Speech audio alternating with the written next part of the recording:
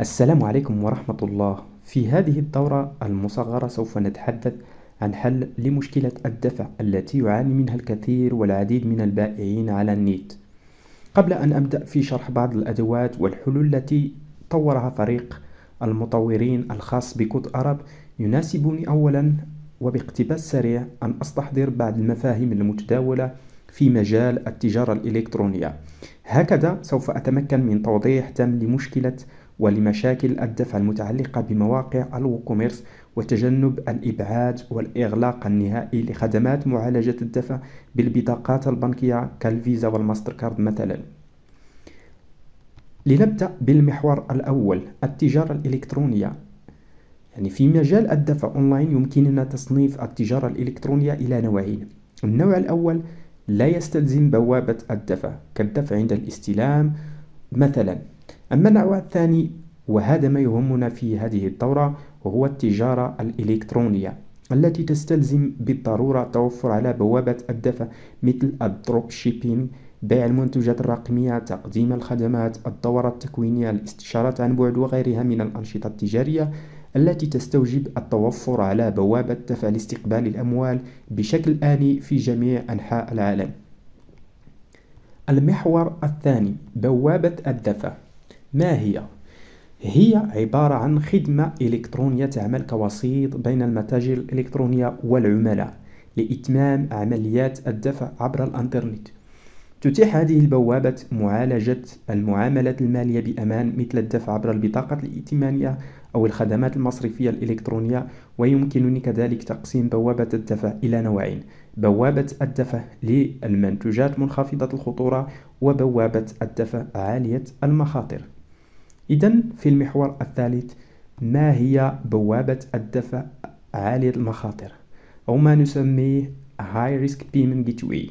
هي خدمة معالجة الدفع مخصصة خصيصا للأعمال التجارية التي تصنف على أنها ذات مستوى عالي من المخاطر المالية أو القانونية. تستخدم هذه البوابات لتسهيل المعاملات الإلكترونية مثل الدفع بالبطاقة الائتمان أو غيرها ولكنها تقدم ميزات إضافية لإدارة المخاطر وحماية المعاملات التجارية مثل بوابة كود أراب بيمنت يعتبر النشاط التجاري عالي المخاطر بناء على عدة عوامل منها ارتفاع معدل استرداد المدفوعات أو ما يسمى بال chargebacks أو ال refunds ثانيا التعامل مع معاملات دولية أو متعددة العملات. مثلا اليورو ال USD وغيرها يعني من المعاملات التجارية ب يعني بعملات متعددة. ثم احتمالية التعرض للاحتيال أو غسل الأموال. ثم رابعا شركات الكازينوهات والألعاب عبر الإنترنت. وأخيرا شركات الفوركس والتداول بالعملات الرقمية وكذلك الاشتراكات الشهرية مثل بيع ال IPTV على سبيل المثال أو بيع منتجات ذات حقوق ملكية مسجلة وغيرها من الأنشطة التجارية التي تصنف على أنها منتجات عالية المخاطر. المحور الرابع لماذا حل Code Arab Payment Code Arab Pay أو Code Arab Payment عبارة عن خدمة دفع تعتمد على API الخاص بال PayPal لقبول المدفوعات على مواقع ال WordPress لدمج بوابة الدفع الخاصة ب Code Arab Pay ستحتاج إلى موقع WordPress جاهز وحساب ال PayPal إن لم تتوفر على موقع WordPress جاهز فإن خدمة Code Arab Dev توفر تطوير وتصميم مواقع ومنصات إلكترونية احترافية تعتمد على نظام ال WordPress أما فيما يخص حساب ال PayPal فيمكنك إنشاء واحد على الموقع الرسمي paypal.com في أقل من دقيقتين. على ماذا تتميز خدمة Code Arab على باقي الخدمات؟ الدفع مثل Stripe وغيرها. خدمة أولا خدمة Code Arab Pay مصممة لتدعم بيع المنتوجات والخدمات الرقمية ومن بينها المنتجات العالية المخاطر على عكس خدمة Stripe ثانيا خدمة Code Arab Pay تعتمد على API ال PayPal أي أنك لا تحتاج تعقيدات في إنشاء حساب ال PayPal مثل شركة مسجلة أو المرجع الضريبي. بالإضافة إلى ذلك يمكنك استخدام حساب PayPal شخصي لاستقبال المدفوعات. ثالثا Code Arab Pay تتيح لك استقبال مدفوعات آنية أو ال instant payout بمجرد أو فبمجرد أن يقوم الزبون بالدفع ببطاقته البنكية تتوصل مباشرة بأموالك على حساب ال PayPal ثم بعد ذلك يمكنك تحويلها إلى حسابك البنكي عن طريق بطاقتك Visa card. رابعا تقوم إضافة Code Arab Payment بإخفاء أسماء المنتوجات التي تبيعها على وصل ال PayPal ويتم تعويضها برقم الطلبية كما أن رابط ال PayPal لا يظهر على حساب ال PayPal الخاص بك. خامسا يتيح حل Code Arab Pay للبائعين خيار إلغاء الدفع بال PayPal وتفعيل خيار استقبال المدفوعات عن طريق البطاقة البنكية فيزا وماستر كارد فقط على مواقعهم. هذه الخاصية تمكن من خفض نسبة النزاعات المرتبطة بالدفع عن طريق ال PayPal حيث أن فتح النزاع وربحه من طرف الزبون يكون سهلا أثناء الدفع بالباي بال على عكس الدفع عن طريق البطاقة المصرفية حيث يكون إجراءات أو تكون إجراءات فتح النزاعات عند المؤسسات البنكية أكثر تعقيدا مقارنة بضغطة زر واحدة عند الدفع بالباي بال هذا المشكل يعاني منه أكثر بائعي المنتجات الرقمية أو الخدمات حيث يكون تبرير شحن العنصر أو المنتج أكثر تقييدا أو تعقيدا وصعوبة. وفي بعض المرات يضطر البائع إلى استرجاع الأموال حتى ولو قام بشحن المنتج أو العنصر. وكنتيجة يكون حسابه مهدد بالإغلاق كلما تم فتح نزاع جديد من طرف الزبناء. وهنا دور كود أربي حيث تنخفض نسبة النزاعات إلى أكثر من 97% مقارنة بالحلول الكلاسيكية. المحور الخامس حل إعادة التوجيه. يعتمد هذا الأخير على توجيه الزبناء من موقع عالي المخاطر E إلى موقع منخفض المخاطر B لتأكيد الدفع حتى لا تصنف المعاملة على أنها عالية المخاطر وبالتالي الحفاظ على خدمة بوابة الدفع وتفادي الإغلاق أو التقييد الدائم للخدمة.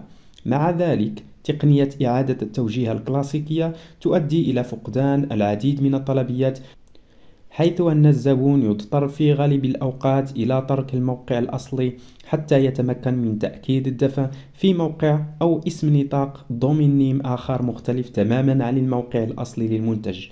وهذه المشكلة ومشاكل أخرى تم معالجتها من طرف حل Code Arab Pay Redirect لإعادة التوجيه. والآن سنتعرف على آخر محور وهو النقطة السادسة والأخيرة في هذه الدورة الملخصة. وهذه النقطة تتعلق بالضبط بكيفية اشتغال Code Arab Pay Redirect لدينا موقعين. الموقع الأول هو عالي المخاطر. لنعتبر مثلا أن أورات dot com هو موقع عالي المخاطر يبيع منتوجات high risk هذا الموقع الثاني sf store هو موقع منخفض الخطورة يعني أنه يبيع منتجات عادية. في هذا الموقع كوم الذي سوف نعتبره مثلا موقع ذات خطورة عالية. إذا قمنا مثلا بتأكيد أو عندما يقوم الزبون بتأكيد الدفع على هذا الموقع فإنه من الاحتمالية الكبيرة أن, يقو أن تقوم خدمة بوابة الدفع بإغلاق الحساب الخاص بك. وبالتالي من الأفضل أن يقوم الزبون بتأكيد الدفع على الموقع الثاني منخفض الخطورة. لكن هنا تكمن المشكلة حيث أن في الحلول الكلاسيكية يقوم الزبون بترك الموقع الأصلي وهو الموقع المرتبط بالمنتوجات عالية الخطورة والانتقال إلى يعني دومين نيم جديد حيث سوف يقوم بتأكيد الدفع. لكن هذه المشكلة ومشاكل كثيرة أخرى متعددة تم القضاء عليها بفضل حل كود أرب Redirection لنتعرف أولا على يعني كيفية اشتغال ال plugin يعني قبل أن آه أريكم كيفية اشتغال ال plugin. فقط تذكروا هذه الأمور لنتعرف أولا على كيفية ظهور صفحة ال checkout لأن هذا سوف هذه آه، الصفحة سوف نحتاجها فيما بعد. مثلا لنذهب إلى shop في الموقع منخفض الخطورة. ثم مثلا نضغط على زر مثلا Add to Cart.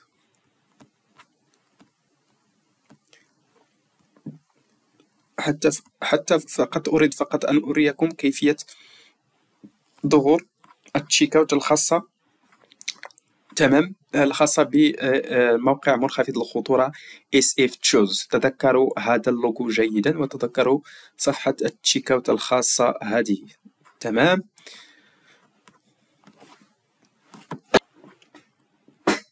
وهذه صفحة ال checkout الخاصة بأورات dot com.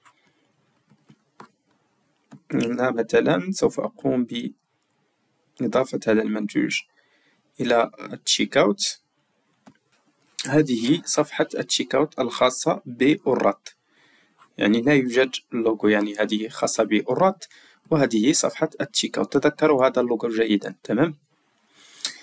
الآن سوف نتعرف على ال admin menu الخاص بكود أراب Pay Redirection هذه هي صفحة الخاصة بكود أراب Pay Redirection نقوم ب enable يعني بالضغط على هذا الزر. ثم هنا نضع الرابط الموقع المنخفض الخطورة يعني low risk. سوف أضع الرابط الخاص ب SF Choose كموقع منخفض الخطورة. تمام؟ هنا سوف أختار متى يعني متى سوف يقوم الزبون بإعادة توجيه هل سيقوم بإعادة توجيه عند الضغط على زر Add to Cart أو Buy Now على زر آه، Proceed to Checkout أو على أو عندما يختار وسيلة الدفع على صفحة Checkout لنبدأ بالخيار الأول. When clicking Add to Cart ثم أقوم بالضغط على Save هذا الخيار يتيح لي أنه عندما يقوم الزبون بالضغط على زر Add to يتم توجيهه إلى صفحة check الخاصة بهذا الموقع. لنقوم بالتجربة الآن. هذا مثلا منتوج آه، على موقع عالي الخطورة أورات dot com. عندما أضغط على Add to Cart سوف يتم توجيهي مباشرة إلى صفحة ال checkout للموقع الثاني وهو موقع منخفض التكلفة. عندي هنا اسم منتج اسمه test product بمبلغ 120 دولارا سوف أضغط على Add to Cart.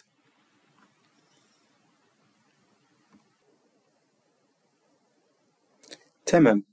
الآن أنا على صفحة الموقع الخاص ب sfchoose.com عندما أقوم بفتح هذه الصفحة فإنه سوف يقوم بتوجيه إلى آه، sfchoose.com أنتم يمكنكم يعني التحكم في آه، صفحة التشيكوت يمكنكم مثلا إزالة هذه هذا الموانوي وغيره يعني يمكنكم تخصيص الصفحة حسب ذوقكم وحسب احتياجاتكم الخاصة. هذه هي الصفحة الخاصة ب checkout بالموقع منخفض الخطورة sfchoose.com dot store سوف أقوم مثلا بوضع order. سوف أختار يعني الوسيلة المتوفرة هنا. سوف أضغط على Place Order تمام. تم وضع ال order بنجاح. سوف أتفقد ال order في يعني ال dashboard الخاص ب WooCommerce في كلا الموقعين يعني سواء على أورات dot com أو على sfchoose.store الآن نحن على ال dashboard الخاص بالموقع sfchoose.store هنا الطلبيات الواردة. هذا هو أو هذه هي الطلبية التي قمت للتو بوضعها. هذه معطيات الطلبية. ثم سوف نذهب إلى موقع ال high risk الثاني وهو موقع com. هنا الطلبيات الواردة سوف أضغط عليها. هنا أجد نفس الطلبية. تمام. بنفس المعطيات.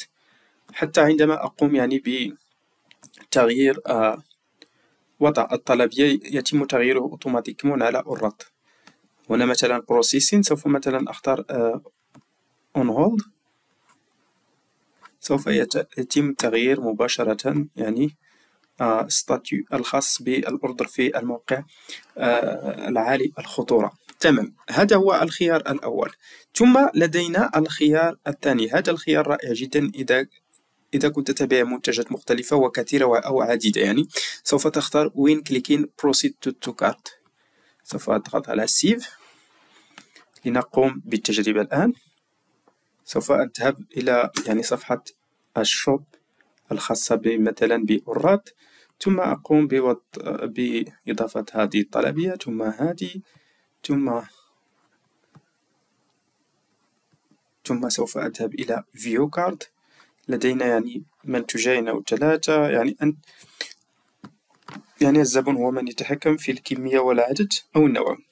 وهنا عندي يعني المبلغ الإجمالي أربعمائة وأربعون يعني دولارا. فقط عندما أضغط proceed checkout يقوم بتوجيهي إلى صفحة ال checkout الخاصة ب sfchoose.com كما تلاحظون يعني بنفس المبلغ. ويمكن وضع ال order كما فعلت ال order كما فعلت سابقا. هنا آه، سوف يتم توجيه فقط الزبون عندما يضغط أو عندما يختار وسيلة الدفع على صفحة ال checkout الخاصة بموقع أورات dot com أو أي يعني موقع high risk سوف أقوم بالتجربة الآن. سوف أذهب إلى نفس صفحة ال shopping الخاصة بأورات ثم أقوم بإضافة هذه المنتوجات إلى السلة. مثلا نضغط على cart view cart ثم proceed to check out. ثم أقوم بملء المعطيات الخاصة بك كزبون. فقط عند الضغط على هذا الزر يعني الذي سميته يعني credit and debit card يمكنكم يعني تغيير الاسم أو ال description هنا في لوحة التحكم الخاصة بكود Code Arab Pay redirection ثم عندما أضغط على place order يتم توجيهي بنفس يعني ال data الخاصة بالزبون إلى صفحة checkout sfchoose.store نعم ها هي صفحة بنفس يعني المعطيات الزبون الاسم يعني لن يحتاج إلى يعني القيام بإدخال المعطيات من جديد.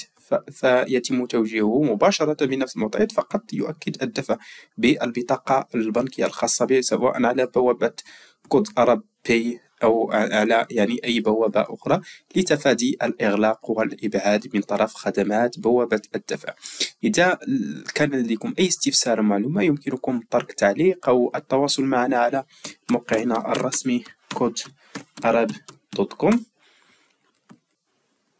والتعرف كذلك على الخدمات التي نقدمها سواء آه آه تطبيقات ال WordPress الخاصة بنا أو يعني خدمات إنشاء مواقع إلكترونية أو خدمات إنشاء آه، إيميلات احترافية أو يعني دمج بوابة الدفع الخاصة بالكريبتو وكذلك خدمات آه، الخاصة بالدفع التي نقدمه خصوصا Code Arab Payment نشكركم على متابعة هذه الدورة الملخصة والمصغرة حول حلول ومشاكل الدفع الخاصة بمواقع ال WooCommerce وإلى هنا نستودعكم الله وإلى دورة قادمة إن شاء الله.